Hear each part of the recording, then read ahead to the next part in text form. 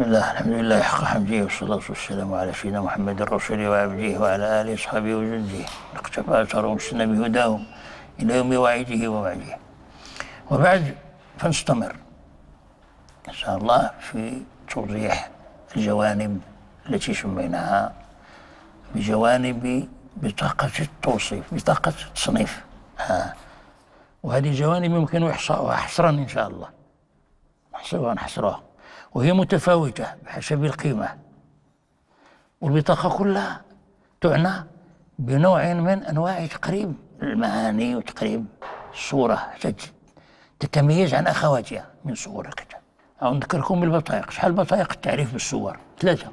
مرتبة. بطاقة تصنيف. تصنف هذه الصورة باعتبارات معينة. هي اللي تنعالجها الآن. أحيانا قلت لكم بأن البطائق تتداخل. ماشي هنا ما هنا جسور. عفوا. هناك قواطع حواجز بين هذه البطائق متداخلة. بعضها يمد بعض.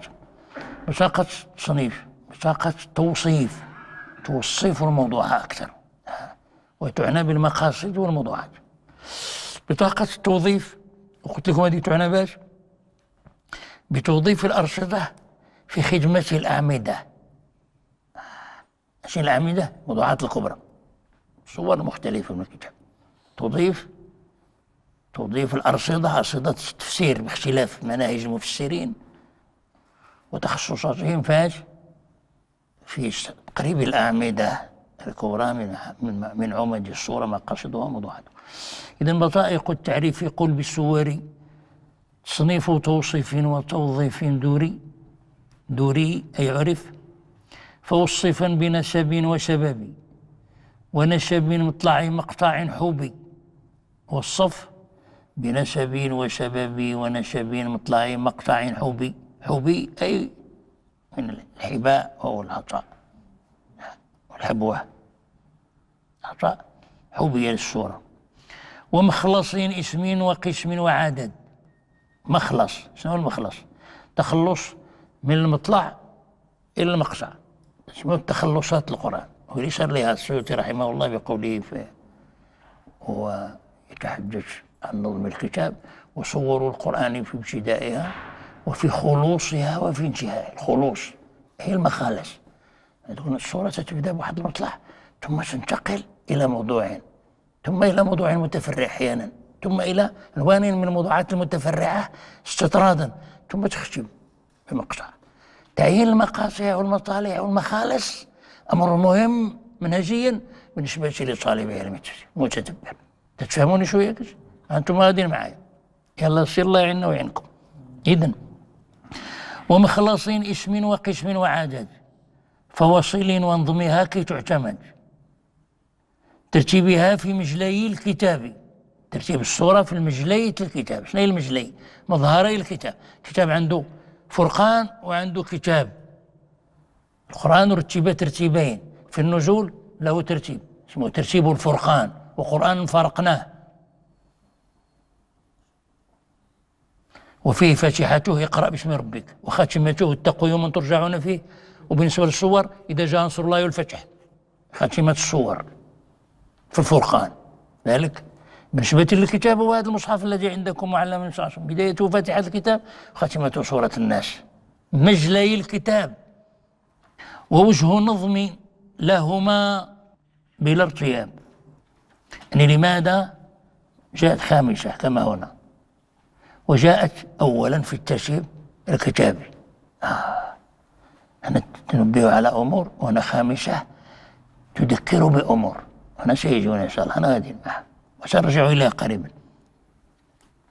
أش بقى لنا أنا بقي لنا. خصائص لطائف فقد زيلا يدركها أهيلها من الأولى من الذين اشتغلوا بهذه يعني خاتمة ما يلتفت إليه في بطاقة صنيف هو خصائص الصورة ولطائف الصورة. هذه جينا معنى اللطائف والخصائص ما عليها. وهذه يعني من تمام التمام فيما يتعلق ب اذكرونها مثلا لو قلت لك خاصيتها رسما أنها تبدأ بالهمج الحمد عندنا نحن. لأن البسملة ليست عندنا آية. لا من البسملة من فاتحة الكتاب ولا من غيرها. الحمد. والافتتاح بالحمد هو كل شيء. كالإختتام به. وجعله مفتتح كتابه اسمع الأهمية. ومختتم دعوى أحبابه وآخر دعواهم آه الحمد لله رب العالمين. نفس الصيغة نفس الصيغة الحمد لله رب العالمين. مفتتح الكتاب ومختتم لقاء الأحباب في جنة الرحاب اللهم اجعلنا من أهلها. دعواهم فيها سبحانك اللهم. وتحيتهم فيها سلام. وآخر دعواهم أن الحمد لله رب العالمين. الحمد لله صدقنا وعده وأورثنا الأرض. أرض الجنة. نتبوأ من الجنة حيث نشاء فنعم أجر العامل. خصائص. هذه؟ ابتديت بالهمج. وختمت بالنون. والضالين. وفي عالم الحرف عند بعض العلم بأسرار أزل يديك. شغول أنت. الهمج والنون. أن أو إن. ضبطها كيف بشي إن حرف تأكيد أنا إنما بينها من بداية إلى ختامها أمور مؤكدة لا يجب أن تنتبه إليها وتحققها وأن بالفتح أن إذا تألم. وهذا الذي حصل للشيطان حين نزلت سورة الحمد. ففي مسند بقي بن مخلد. أن الشيطان أن أربع مرات. معنى أن. صوت من شدة الألم والفجيعة النازلة به. حين ولد؟ حين طرد من الجنة وحين أهبط؟ حين أخرج؟ وحين أهبط؟ إلى الأرض وحين ولد النبي صلى الله عليه وسلم محمد؟ وحين نزلت سورة الحمد؟ ولذلك رأيتم القسم تاعو. ولا تجد أكثرهم شاكرين ولا حامدين. الحرب تاعو كله على الحمد. انتبهوا. حربه كله على الحمد. حتى لا يكون هناك حامد لله. يكثروا المسخ تاع ربي. هذا هو شأن الشيطان. يكثر المسخ ما كاين والو ما كاين عنده يكثروا الشقاء في الوجود. نعوذ بالله.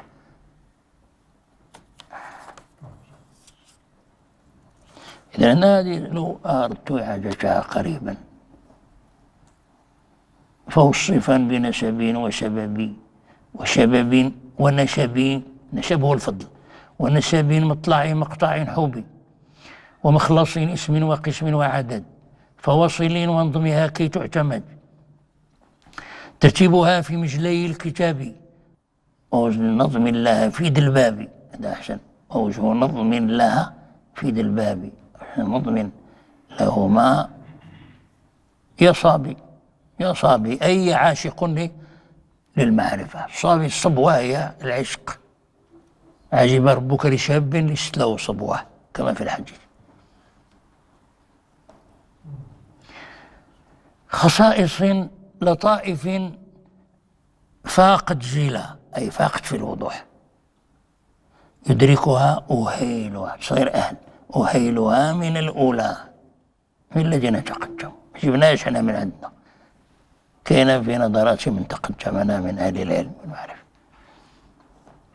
إذا نعود إن شاء الله إلى تكملة البحث في الثلاثيات من هذه الجوانب. نقول كلها ثلاثيات. ثلاثيات منها ثلاثية ليش من الرقم قلنا هنا؟ والرقم قلنا هنا يعني بياش رتبتها في النزول ورتبتها في مصحف العدول. العدول. في المصحف جاءت في الصدر هي الأولى وهي فاتحة الكتاب مقتضى كانت أما للكتاب. وفي النزول خامسة كما دل عليها ترتيب جابر بن زيد وهو من أجل التابعين وأهل العلم بالقرآن. آه. ومن كلام جسريج ابن عباس رضي الله عنه على قول منه أخذ هذا العدل. خامسة اقرأ نون مجمل مجشر الحمد. وهذا هذا الرقم كونها خامسة. وجه نظمها خامسة قلنا إذا كانت نزلت لتلقين الحمد لأن النبي صلى الله عليه وسلم ننظر الفرقان لماذا نزل فرقانا؟ لأمور لحكم منها ما يرجع للمنزل عليه لأنه تبيت به فؤادك. آه. قال الذين كفروا لا نزل على القرآن جملة واحدة. قال القرآن كذلك أي لم ننزله جملة واحدة بل مفرقا فرقناه. لا لنثبت به فؤادك. ورتلناه ترتيلا هذا ترتيل تاع النزول. ولا يأتونك بمثل إلا جئناك بالحق.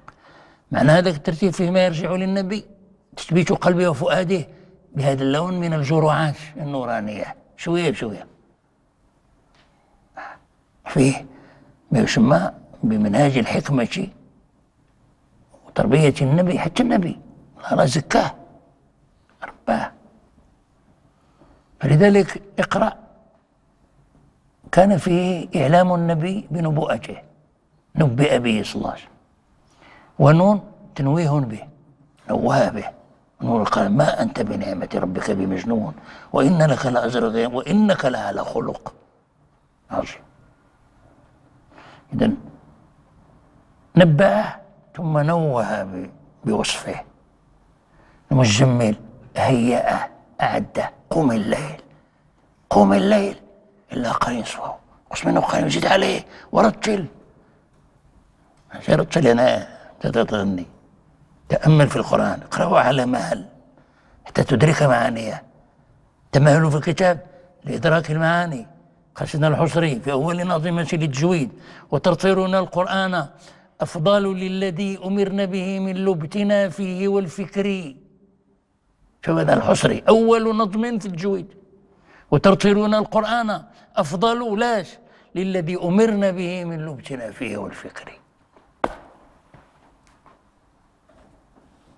هيئ بقم الليل. وأرسل بي أيها المدثر قم فأنذر غيرك. خرج في الرابعة من المنزل أرسل. نبئ في خاصة نفسه ما قالش الله في قرن قل للناس اقرأوا. اقرأ أنت اقرأ أنت. النبوءة أولا ثم الرسالة ثانيا.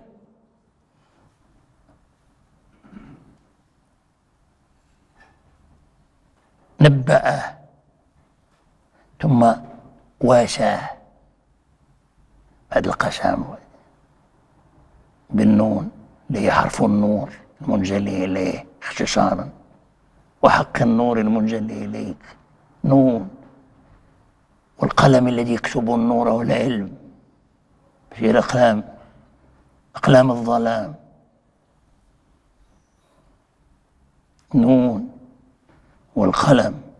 وقدم نون على القلم. لأنه الشأن بالمعرفة. قبل القلم الذي يكتبها. المعرفة أولا. شرف المعرفة؟ شرف القلم. من شرف ما يكتب به. ما يكتبه. اش قيمة إعلام ما فيه إعلام ما فيه احترام ما فيه قيام قيم. ثم هيئ. من أعد. نبئ. ثم نوه به وأنس وإنك لعلى خلق عظيم. ثم أعد وهيئ. قم الليل. صلاة الليل زاد صلاة الليل نور في, في, في الأرض. ذكر في السماء كما جاء عن سيدنا رسول الله صلى الله عليه وسلم.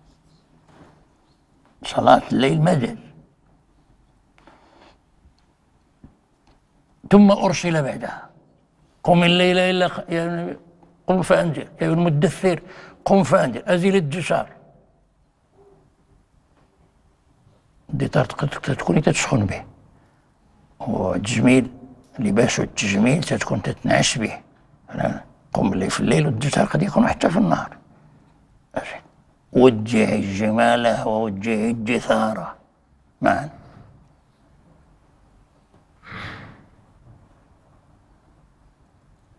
قم فأنذر وربك فكبر. استمد المدد من ربك.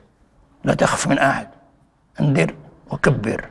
عوضوا وطهر ثيابك ما تدخلش للناس تدعوهم إلى إلطهارة وأنت متشخ. التوبة يعني الدين. شيء توبك فقط شيك يعني إيه؟ ثيابك قلبك لبك عقلك فكرك ما تدعو إليه.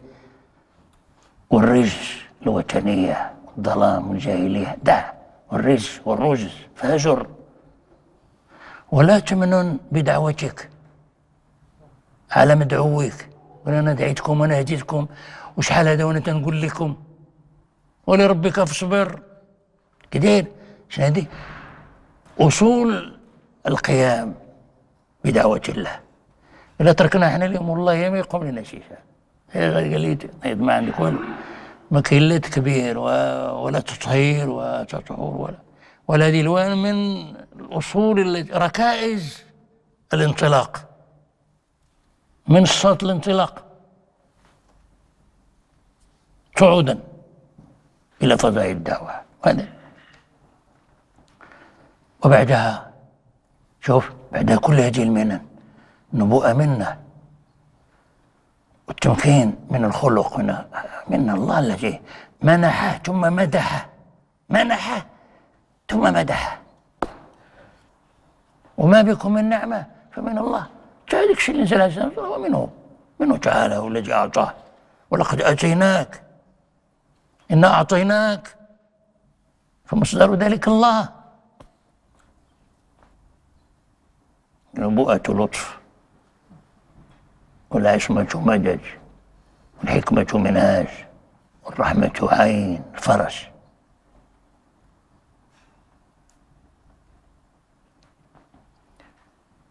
أمام هذه المنح والعطايا والمنن ماذا يملك النبي؟ ماذا سأقول قال اسمع قل الحمد لله رب العالمين الرحمن الرحيم. فجاءت خامسة في حينها ولذلك حتى لو قلنا إن هذه الصورة لها سبب باعتبار النزول رواد السبب وحاجة النبي إلى من يلقنه الحمد ومن ورائه إتباعه في حينه. ليعثر على المفتاح. لأنه لئن شكرتم ليزيدنكم الشكر رأس الحمد فهو منه والعبادة من الشكر صورة من صورها. سيجيونا الفرق بين حمد وشكر هذه لا تعجلوا عليه شوي. حصل تل بشقة التوصيف. إحنا الآن إما بشقة التصنيف. خذوا هذه المظاهر هذه. إذا للصورة سبب لا لا لا سبب ولكن ليس من الأسباب المعهودة اصطلاحا. نقول الصور نزلت عن سبب أو على سبب بمعنى نزلت عقب حاجته لتجيب عنها أو عقب سؤال ليكون ردا عليه. أو عقب أمر ما يتصل له صلة بالصورة. فيكون هنا نزلت على سبب وهذه مسألة قد يكون فيها النص الذي لا يختلف وقد يكون فيها اجتهاد من الذين حضروا التنزيل. هو كثير. لكن هناك صور كثيرة نزلت على غير سبب على غير سبب خاص.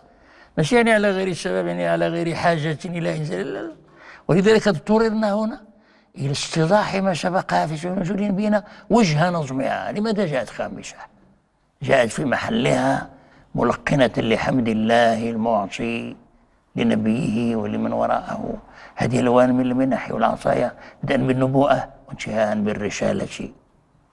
أمرا بالخير وإفاضة للجود من رسول الرحمة ونبيه صلى الله عليه قل الحمد لله رب العالمين. الذي رباك ورحمك وله معك موعد في اللقاء اسمه يوم الدين هو ملكه وهو متوليه والذي يفصل فيه وهو المجازي. إذا ابتداؤك وانتهاؤك إليه ثم إلينا ترجعون. ألا يستحق هذا الجميل الجليل منك أن يحمد إظهارا لجلاله وعظمته؟ ثم ألا يستحق منك أن يفرد بالعبادة إياك دون سواك. أعبده. ولا يكون عبادة بغير معرفة. ولا عبادة بدون محبة. ولا عبادة بدون تذلل تحس به وتشعر. ماشي نازل. بحال الكيونة بحال الكوما طالع بحال شي حاجة ما كايناش. شو عندنا الصلاة؟ خلت من روحها يعيش الناس.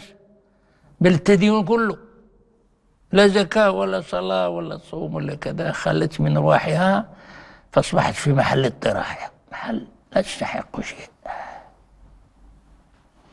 ويكتب للرجل من صلاته ما عقل هذا الأصل. خلينا للعقل. هو بدء الخشوع. من الخشوع حضور الروح واتصال الذكر. العقل يا عقلتي السجير عرفتي السجير وسمعتي داك الشيء اللي تتقول؟ من فاتحة وكذا ودك الشيء تقول في الركوع والسجود ودريت التسبيحة والدعاء والاستغفار واستحضرت ذنبك مع الأدعية وحاجتك مع المسألة هذا عقل عقل هذا عقل. ثم يرتقي العقل فيصبح الذكر حضور وهذا الخشوع. وهو خلاء باطنك من ما يشغلك عن نزول الذكر والطمأنينة به. هو هذاك الخشوع. خشوع سكون الباطن. كان خشوع اللي هو سكون الظاهر هذا تبارك الله كنا تجتهد فيه. مزيان. إنه يعينك. ماشي لأنه مطلوب بالدرجه الأولى. مطلوب غير ليعينك على الخشوع الباطني. إن في الصلاة لشغلا شغل باطني. فلا تشتغل بشيء آخر يفتنك عنها. اذا فلذلك نعين عن الصلاة في حال المزاحمة. لا تصلي لا يصلي أحدكم وهو حاق. يدافعه الأخبثان هو غضبان كما رواية أخرى تغضبان في من الكبر. والصلاة تواضع لله. والغضبان متكبر في باطنه. يريد الانتقام. فمن الذي؟ لذلك سبق الوضوء. يهدئك. وسبق النوافل الأولى لتعدك. فإذا صليت الفرض صليته بكامل الذي يطلب منك رجعونا سيدي إيش قلنا؟ إيش قلنا نتكلم؟ هذه الثلاثيات قلنا الرقم في صورة خامسة في النزول تجيب على أمور منها أن لها سبب هو السبب حاجة النبي والذين معه إلى تلقين الحمد وتعليم المسألة. لأن الداعي إلى الله وصلت الآن لإبلاغ الرسالة فأنت محتاج إلى أن تحمد الله على العطايا وأن تفتح الباب إليه بإفراد العبادة استمرارا في ذلك وأن تتوسل إليه بما يكون سببا لقبول توسلك وإجابة دعوتك. وهذا هو العمدة في كل شيء. إن الذين يستكبرون عن عبادتي سيدخل أي دعائي. سيسود جهنم داخل. الدعاء محوري وأساسي في الكتاب. وإذا خلت العبادة من معاني الدعاء اشتعلت إلى موات تقص. الدعاء. الدعاء هو العبادة. حديث سنن الترمذي بسند صحيح. إن الدعاء هو العبادة ماشي المخ فقط. هو العبادة هو هو. هو هي. الدعاء تضرع جهال إخلاص تصدي والعبادة الحيث جاية من هذه المعاني. دعاء مناجاة افتقار إظهار انكسار بين يدي الله والعبادة حيد منها فرغها من هذه المعاني لا شيء لا شيء. قصر تنقول إحنا قصر أنتم قصر؟ جخ. اشبح خاوي. بلا شلون اللهم إنا على ذكرك وشكرك وحسن عبادك. نرجع قلنا للثلاثيات ضمن هذه البصق تريد السبب ما قد كشفنا عنه. قلنا هذه الصورة نزلت هامشة لسبب شنو السبب هنا كشفناه بتاريخ بيان ترتيب النزول وهو الحاجة إلى نزولها في حينها. لأن جاءت بعد هذه المنن لتعلم متلقي الوحي متلقي هذه المنن.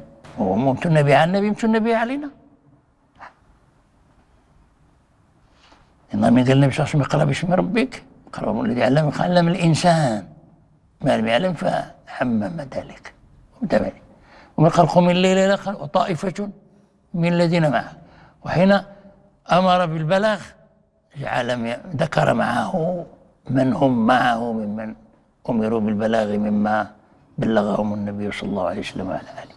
فكانت الحاجة منهم ومنهم داعية إلى انتظار كيف يحمدون هذا الرب العظيم على المنن فجاءت القنوة لها قولوا الحمد لله. ولذلك يعني يعجبني كلام بعض أئمة المعرفة أئمة العرفان حين سئل عن ال في الحمد هي ال جنسية؟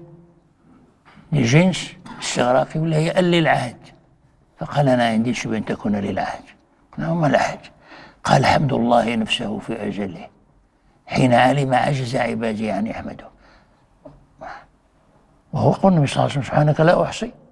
ثناء الثناء والحمد يجينا في التعريف لا أستطيع أن أحيد بالثناء بالثناء عليك.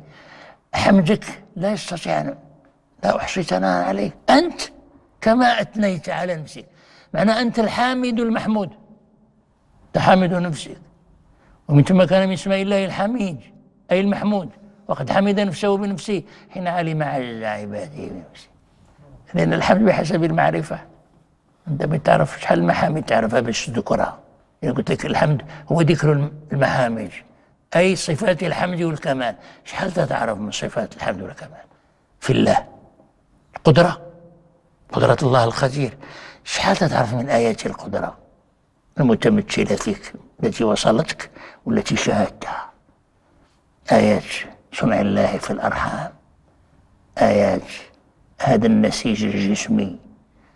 وهذه الترسيونات وهذه الصلات بين جهاز الدم وجهاز الهضم وجهاز التنفس وجهاز النبض وجهاز المخ الضارب في الأعصاب وجهاز هذه أشياء بسيطة هذه كلها آثار القدرة وفيها الحكمة. كل حاجة في محلها. لا تستطيع أن تقول العين خصها ما تكونش هنا. أبدا. وإلى اليوم شحال إنسان قديم هذاك منذ خلق الله. لقاو لي شي حاجة باش يحول سيدي. كاين شوية تعال يعطيونا نموذج آخر. اقترحوا لنا فيه صورة لإخراج إنسان استنساخ إنسان يعد في هذه الصورة. أرونا صورة. هذا خلق الله فأروني خلقكم. ماذا خلق الذين من دونه؟ ائت بصورة أخرى. جيب لنا شي وضع آخر يكون. شوف لي غير هاد جوج درعين فين يركبوا؟ تركبهم هنا؟ ديرهم هنا اللور؟ ديرهم قدامك هنا؟ إيه وضع واحد يدلك على حكمة الله وعظمة الله وقدرة الله. وإذا قال بعض العلم إننا في الصلاة التي التي أعيد أنها عبادة الشكر الأولى والكبرى. أننا فيها أمرنا بأمور كلها تذكر بنعم كبرى إلى آخرها حين تريد أن تسلم تريد الوداع تحرك أصبعك. والأصبع اليوم في عالم دراسة الخلايا. أنموذج للجسم كله أصبع هذا أنت تعرف أنت تدير لزمبران البصمات. تدل على شخصيتك وتميزك هذا الأصبع الذي تحركه في رأسه الأنملة. كأنك تشير به إلى عظمة الله الخالق قادرين على أن نسوي بنانا. الله لم يسوي هذا البنان معنى لم يسوي بمعنى جعله واحدا جعله مختلفا بعدد الأنفس. غنى غنى الله. ماشي المضلات قدوا عجز الله عن أن يجيء بمختلف. لا أحد يشبه أحدا والأعجب منها أنه اليوم وجدوا أن البصمة العين أقوى من بصمة اليد. آه. فين تكون عينك؟ عينك تسجد. يقول النبي صلى الله عليه وسلم اللهم لك سجد زيد سواجي وآمن بك فؤادي. سجد لك سواجي شنو السواد؟ فؤادي حلية عينك. لذلك جاء أبلغك الله كمالا ما في الصلاة. بين بين تسجد بعينك وتفتح عينيك لأنها تسجد. شوية تقول واش نغمض عيني؟ غمض افتح إيش اللهم إلا أن تكون مشوش البال. لا تستطيع أن تحضر إلا إذا غمضت عينك فإن شاء الله نقول هذا حرج. نقول هذا للنازلة. ما لكم ما عندك مشوش افتح عينك سجد لك سواجي السواد يسجد ويصلي كما يصلي الأسبوع. عن جديد ولذلك جاء في بعض الروايات ابن حبان صحيح ابن حبان وكان الأسبوع كما القوس أو على مثاله. شيء قربوا شوية. معناتها هو ساجد راكع ساجد طالع نازل. ما تنجادلوش بزاف. واش هكا واش هكا والكلامات وشي بيضرب شي وما فاهمين والو. يضيع المعنى ويجي ضل عنه اللفظ فانتقم من المعنى. ضل عنه المعنى فانتقم من اللفظ. خذ مشى ليه ذاك الأصل هو يقبض في ذاك الشيء بديتي دونك رويجك اذا اش قلنا شيء قلنا بأن النسب والنشب والسبب. بقينا من هذا الثلاثي النسب أولا ثم النشب. نشب الفضل. وفضل الصورة واضح في جملة أحاديث. فيها بعضها ضعيفات الإسناد ولكنها صحيحة المعنى. وبعضها صحيحة الإسناد والمعنى كما سنذكره إن شاء الله. ومقدمة إليها حديث عن عن النسب. الصورة تنتسب لإيه؟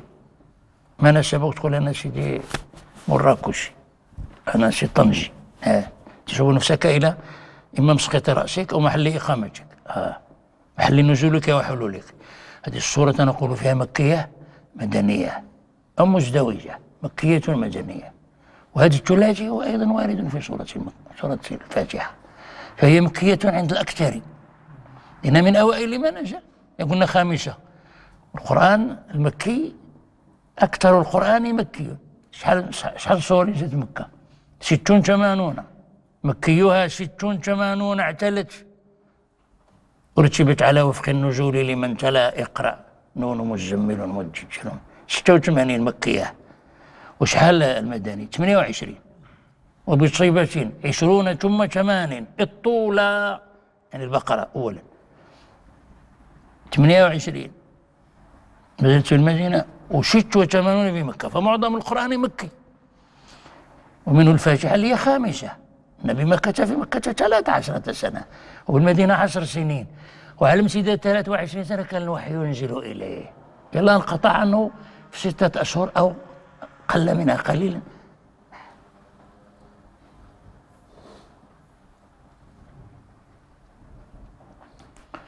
إذن شورتنا شبيهة على الأكثر. وشذ قول بمدنيتها نسب لإمام مجاهد بن جبر. تلميذ بن عباس من أجل تلاميذ ابن عباس قال إنها مدنية ولم يزيد على ذلك. وصح القول إليه. مات سنة 101 هجرية قائما يصلي. مجاهد. قال بمدنيتها. ولعل هذا القول بمدنيتها منه. نظر إلى جانب الخصائص. فيها حديث عن أهل الكتاب قال في الحديث المغضوب عليهم اليهود الضالون النصارى. لقوله تعالى فيهم فباءوا بغضب على غضب. وقوله في النصارى قد ضلوا كثيرا وأضلوا قد ضلوا وأضلوا كثيرا وضلوا عن سواء السبيل تلت الضلال بالنسبة للنصارى وتن الغضب بالنسبة لليهود وأهل الكتاب لم يكونوا بمكة أبدا. ما كان له وجود. وجود في المدينة. فمن نظر إلى الخصائص قال بأنه لا يمكن أن ترفع دعاء لا تفهموه. جنبنا طرق هؤلاء أنت لا. فبحسب الخصائص كأنه لمح هذا فقال هذه مدنية. والذي يشك يعني يخرجنا من الإشكال. هو أن القول الثالث بأنها مكية مدنية. هذا يبدو من جهة المعنى لا من جهة الشعر أكثر. أنه أقرب المعاني أنها تكرر نزولها تقول لي شنو الداعي للتكرار؟ هذا عبث نزلت تعاود تنزل. علاش؟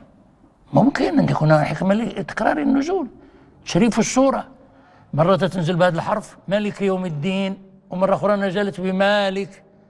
هلا الشهادة يكون من شبه؟ ومرة صراط الذين أنعمت عليهم. صراط صراط الذين أنعمت عليهم. صراط الذين وكلها تلقين لي لغات التي نزلت بها السورة. وفيها عليهم عليهم. إذا لماذا يكون حكمة في التكرار؟ واحدة. ثانية. ثالثة. وأن التكرار اقتضاه أن القبلة تحولت وهي قبلة الصلاة. فكان إعادة نزولها بعد تحويل القبلة تذكير بأنها لا تزال بنفس المكانة في الصلاة ولا صلاة لمخرج فاتحة الكتاب حتى لو تحولت القبلة. فكان القبلة الحقيقية يعني هي فاتحة الكتاب. أن توجه قلبك لله المحمود إياك نعبد وإياك نستعين. فهمتوا شوية؟ إذا نسب وسبب ونشب ثلاثة في ذي المداري هذه المدارس تنسب فجعت الكتاب إذا ثلاثيات احفظوها إن شاء الله وسنسير معها. إذا الثلاثية الأولى هنا قلنا النسب. مكية في قول وهو الأشهر. مدنية في قول مجاهد ومن نحى نحوه. ومكية مدنية أي تكرر نزولها لهذه المعاني التي أشرنا إليها. وقال بعضهم إن تسميتها بسبع المثاني من تثنية النزول. وهذا أحد المعاني تخريجات. قال سبع مثاني لأنه كرر نزولها. فهي مثنوية باعتبار النزول. فليكن إذن هذا. وهذا حاشينا وزاد بعضهم هذا سيجينا إن شاء الله في الفضل أن هذاك المثنوية من الاستثناء. مثاني مستثنات استثناها الله لنبيه فخص بها ولم تنزل على غيره مثلها. وليس في كتب من كتب الله السابقة مثل هذه الصورة. استثنيت لهذه الأمة فضيلة ومكرمة. ولنا إن شاء الله عوجة إلى تكميل هذه البطاقة بجوانبها. لننتقل إلى البطاقة الأخرى. وهكذا نقترب من من لباب صلب الكتاب. درجة درجة. إلى أن نصل إلى توظيف الأرصدة في توضيح الآمجة. سبحانك اللهم وبحمدك أشهد أن لا إله إلا أنت أستغفرك ونتوب إليك. اللهم اغفر لنا وارحمنا وأنت خير الغافرين. اكتب لنا في هذه الدنيا حسنة وفي الآخرة إنا عدنا إليك. اللهم لا تدع لنا ذنبا إلا غفرته ولا هما إلا فرجته ولا حاجة هي لك رضا إلا قضيتها ويسرتها. فيسر أمورنا واشرح صدورنا اختم باقيات الصالحات أعمالنا. اللهم اشف مرضانا. اللهم اشف مرضانا اللهم اشف مرضانا وارحم موتانا وبلغنا مما نرجوه منك آمالنا. نور على من المؤمنين قبورهم واغفر لهم وفيهم أجورهم. جعلهم عندك في مقعد الصدق والرضا والحقنا بالمسلمين غير خزايا ولا مفتونين ولا فاتين والحمد لله رب العالمين. السلام عليكم ورحمة الله.